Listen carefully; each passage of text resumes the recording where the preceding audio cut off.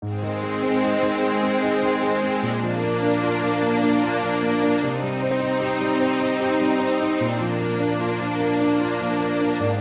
buat semua ni sebab nak sambut hari kemerdekaan dan hari kebangsaan uh, Berserta dengan hari 1 Malaysia 16 September.